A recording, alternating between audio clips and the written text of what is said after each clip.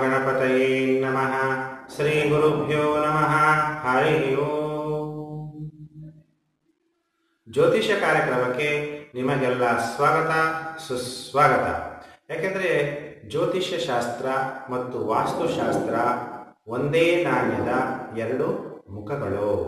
ನಾನು ಯಾವುದೇ ಹಾಕುವಂಥ ಜ್ಯೋತಿಷ್ಯ ಕಾರ್ಯಕ್ರಮ ಆಗಲಿ ವಾಸ್ತುಶಾಸ್ತ್ರದ ವಿಚಾರಗಳಾಗಲಿ ಲೇಟೆಸ್ಟ್ ವಿಡಿಯೋ ನಿಮಗೆ ಬೇಗ ಬಂದು ತಲುಪಬೇಕು ಅಂದರೆ ನೀವು ನಮ್ಮ ಚಾನಲ್ನ ಸಬ್ಸ್ಕ್ರೈಬ್ ಮಾಡಿಕೊಂಡು ನೋಟಿಫಿಕೇಷನ್ ಬೆಲ್ ಆಲ್ ಒತ್ತಿದ್ರೆ ಆಗ ನಾನು ಮುಂದೆ ಹಾಕುವಂತಹ ಯಾವುದೇ ಕಾರ್ಯಕ್ರಮಗಳು ಜ್ಯೋತಿಷ್ಯಕ್ಕೆ ಸಂಬಂಧಪಟ್ಟಂಥ ಕಾರ್ಯಕ್ರಮಗಳು ನಿಮಗೆ ಬೇಗ ನೋಟಿಫಿಕೇಷನ್ ಬರುತ್ತೆ. ಅದಕ್ಕೆಲ್ಲ ಸಬ್ಸ್ಕ್ರೈಬ್ ಮಾಡಿಕೊಂಡು ನೋಟಿಫಿಕೇಷನ್ ಬೆಲ್ ಒತ್ತಿ. ಕೆಳಗಡೆ ಶೇರ್ ಬಟನ್ ಇದೆ. ನೀವೆಲ್ಲ ಸೋಷಿಯಲ್ ಮೀಡಿಯಾಗಳಲ್ಲಿ ವಾಟ್ಸಪ್ ಫೇಸ್ಬುಕ್ ಎಲ್ಲೆಲ್ಲಿದ್ದೀರ ಅಲ್ಲೆಲ್ಲನೂ ಸಹ ಈ ವಿಡಿಯೋವನ್ನು ಶೇರ್ ಮಾಡಿ ಶೇರ್ ಮಾಡೋಕ್ಕೇನು ಹಣ ಖರ್ಚಾಗಲ್ಲ. ಈಗ ವಾಸ್ತುಶಾಸ್ತ್ರದ ಅನುಸಾರ ನನಗೆ ವಾಸ್ತು ಮತ್ತು ಜ್ಯೋತಿಷ್ಯ ಆಗಿರ್ಬೋದು, ಹಸ್ತ ಸಾಮುದ್ರಿಕ ಆಗಿರ್ಬೋದು ಫೇಸ್ ರೀಡಿಂಗ್ ಮುಖ ಸಾಮುದ್ರಿಕ ಇವೆಲ್ಲರೂ ಸಹ ಜ್ಯೋತಿಷ್ಯ ಶಾಸ್ತ್ರದ ಅಂಗ. ಸರ್ವಂ ಗ್ರಹಾಧೀನಂ ಜಗತ್. ವಾಸ್ತುಶಾಸ್ತ್ರದಲ್ಲೂ ಸಹ ನಾವು ಗ್ರಹಗಳನ್ನೇ ಪರಿಗಣಿಸ್ತೀವಿ. ವಾಸ್ತುಶಾಸ್ತ್ರದ ಅನುಸಾರ, ಈಗ ನಾನು ಬಹಳ ವಿಶೇಷವಾಗಿ ನಿಮ್ಮ ಮನೆಯಲ್ಲಿ ಪೂರ್ವಜರು ಅಥವಾ ಹಿರಿಯರ ಭಾವಚಿತ್ರ ಯಾವ ದಿಕ್ಕಿಗೆ ಒಳ್ಳೆಯದು ಅನ್ನೋ ವಿಚಾರವನ್ನು ತಿಳಿಸ್ತೀನಿ. ನೀವೆಲ್ಲ ವಾಸ್ತುಶಾಸ್ತ್ರವನ್ನು ಸರಿಯಾಗಿ ನಿಮ್ಮ ಜೀವನದಲ್ಲಿ ಅನುಸರಿಸಿದರೆ ನಿಮಗೆ ಪಾಸಿಟಿವ್ ಎನರ್ಜಿ ಅದನ್ನು ಕನ್ನಡದಲ್ಲಿ ಧನಾತ್ಮಕ ಪರಿಣಾಮ ಏನು? ಧನಾತ್ಮಕ ಪರಿಣಾಮ ಅನ್ನೋದು ಬೀರುತ್ತೆ. ಅದಕ್ಕೆ ವಾಸ್ತುಶಾಸ್ತ್ರವನ್ನು ನಮ್ಮ ಜೀವನದಲ್ಲಿ ಅಳವಡಿಸ್ಕೋಬೇಕು. ಈಗ ಕಣ್ಣಿರೋ ಜಾಗದಲ್ಲಿ ಕಣ್ಣಿದ್ರೆ ಚೆನ್ನಾಗಿ ಕಾಣುತ್ತೆ. ಮೂಗು ಬಾಯಿ ನಾವು ಫಿಲಮ್ ಆ್ಯಕ್ಟರ್ಸ್ನ ಸೆಲೆಬ್ರಿಟೀಸ್ನ ಮತ್ತೆ ನೋಡಬೇಕು ನೋಡಬೇಕು ಅಂತ ಯಾಕೆ ಅನಿಸುತ್ತೆ? ಅವ್ರ ವಾಸ್ತು ಕರೆಕ್ಟಾಗಿರುತ್ತೆ ಫಿಸಿಕಲ್ ಬಾಡಿ ಹಾಗೆ ನಮ್ಮ ಮನೆ, ನಾವು ವಾಸ ಮಾಡುವಂಥದ್ದು ನಮ್ಮ ಶರೀರನೇ ಪಂಚತತ್ವಗಳಿಂದ ಆಗಿದೆ. ಗಾಳಿ, ನೀರು, ಬೆಳಕು, ಅಗ್ನಿ, ಆಕಾಶ, ಅಲ್ವಾ? ಶರೀರ ಅನ್ನೋದೇ ಒಂದು ಪಂಚತತ್ವ. ಎಲ್ಲ ಬ್ಯಾಲೆನ್ಸ್ ಆಗಿರಬೇಕು. ಹಾಗೆ ವಾಸ್ತುಶಾಸ್ತ್ರ ಅನ್ನೋದು ನಾವು ಮನೆಯನ್ನ ನಾವು ಇರುವಂತಹ ಗೃಹ, ಆಫೀಸು ಯಾವುದೇ ಆಗಲಿ, ಅದು ಬ್ಯಾಲೆನ್ಸ್ ಆಗಿದ್ದರೆ ನಮ್ಮ ಜೀವನ ಅನ್ನೋದು ಸಕ್ಸಸ್ ಅನ್ನೋದು ತೋರಿಸುತ್ತೆ, ಮತ್ತು ಪಾಸಿಟಿವ್ ಎನರ್ಜಿ ಅನ್ನೋದು ಬರುತ್ತೆ.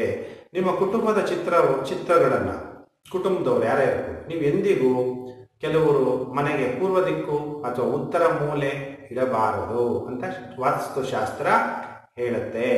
ಅದಕ್ಕೆ ಪೂರ್ವದಲ್ಲಿ ಹಾಕ್ಬಿಡೋದು ಅಥವಾ ಉತ್ತರದಲ್ಲಿ ಹಾಕೋದು ಅದೆಲ್ಲ ಮಾಡಬೇಡಿ. ಪಿತೃಗಳ ಅಥವಾ ಪೂರ್ವಜರ ನಿಮ್ಗೆ ಯಾರೇ ಪೂರ್ವಜರು ಇರ್ಬೋದು ಅಥವಾ ದಿವಂಗತರು ಯಾರು ಮರಣ ಹೊಂದಿದ್ದಾರೆ, ಅಂಥವ್ರನ್ನ ನಾವು ರೂಢಿ ದೇವ್ರಗಳ ಜೊತೆಗೇನೆ ಪೂಜಾ ಕೋಣೆಯಲ್ಲಿ ಚಿತ್ರಗಳನ್ನು ಇಟ್ಬಿಟ್ಟು ಪೂಜೆ ಮಾಡೋದು. ಆದರೆ ಅದನ್ನು ಮಾಡಬೇಡಿ. ಅದನ್ನು ಸ್ಥಾಪಿಸಬಾರ್ದು. ನಿಮ್ಮ ಫೋಟೋ, ನಿಮ್ಮ ಪೂರ್ವಜರ ಫೋಟೋ ಮತ್ತು ಪಿತೃಗಳ ಫೋಟೋ ಇವನ್ನೆಲ್ಲನೂ ಸಹ ದೇವರ ಮೇಲಿಟ್ಟು ಪೂಜೆ ಮಾಡಬಾರ್ದು ಅಂತ ವಾಸ್ತುಶಾಸ್ತ್ರ ಹೇಳುತ್ತೆ. ಆದರೆ ನಿಮ್ಮ ಮನೆಯಲ್ಲಿ ಯಾವುದಿಟ್ಟರೆ ಹಣ್ಣುಗಳ ಚಿತ್ರಗಳು ನಿಮ್ಮ ಮನೆಯಲ್ಲಿ ಶಕ್ತಿಯನ್ನು ತರುತ್ತದೆ. ಒಳ್ಳೊಳ್ಳೆ ಚಿತ್ರಗಳು, ಒಳ್ಳೆ ಹಣ್ಣು, ತುಂಬಿರುವಂತಹ ಹಣ್ಣು.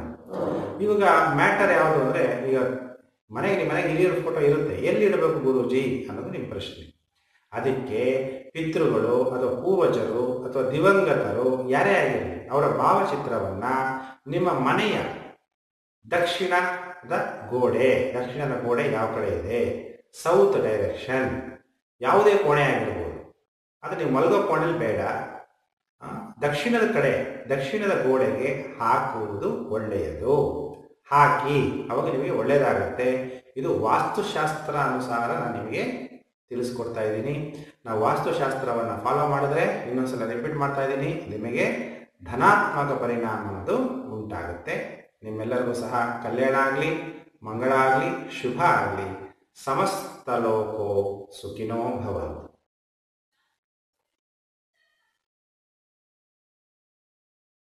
ಅದಕ್ಕೆ ಮತ್ತೆ ರಾಜಕಾರಣದಲ್ಲೂ ಸಹ, ಈಗ ಯಾಕೆ ಅಂದರೆ ನೋಡಿ, ಚಂದ್ರಗ್ರಹಣ ಆಗ್ತಾ ಇರೋದಕ್ಕೂ ಈಗ ನಕ್ಷತ್ರ, ಚಂದ್ರ ಇರುವಂಥದ್ದು ಸಹ ವೃಷಿಕ ರಾಶಿಯಲ್ಲಿ. ನಮ್ಮ ದೇಶದ ಪ್ರಧಾನಮಂತ್ರಿಗಳು ಸಹ ವೃಷಿಕ ರಾಶಿ. ನಮ್ಮ ರಾಜ್ಯದ ಮುಖ್ಯಮಂತ್ರಿಗಳು ಯಡಿಯೂರಪ್ಪನವರು ಸಹ ವೃಷಿಕ ರಾಶಿ. ಆಮೇಲೆ ಸಿದ್ದರಾಮಯ್ಯನವರು ಸಹ ವೃಷಿಕ ರಾಶಿ. ಇವರೆಲ್ಲರಿಗೂ ಸಹ ರಾಜಕಾರಣದಲ್ಲಿ ಬಹಳ ವ್ಯತ್ಯಾಸಗಳು ಟೆನ್ಷನ್ಸ್ ಜಾಸ್ತಿ ಆಗುತ್ತೆ. ದೇಶದ ಪ್ರಧಾನಮಂತ್ರಿಗಳಿಗೆ ಬಾರ್ಡರ್ಗಳಲ್ಲಿ ತೊಂದರೆಗಳು, ಅಂದರೆ ಅದರದ್ದು ತೊಂದರೆ ಪ್ರೆಷರ್ ಜಾಸ್ತಿ ಇರುತ್ತೆ ಅವರಿಗೆ. ಮಾನಸಿಕವಾಗಿ ಟೆನ್ಷನ್ಸ್ ಜಾಸ್ತಿ ಇರುತ್ತೆ.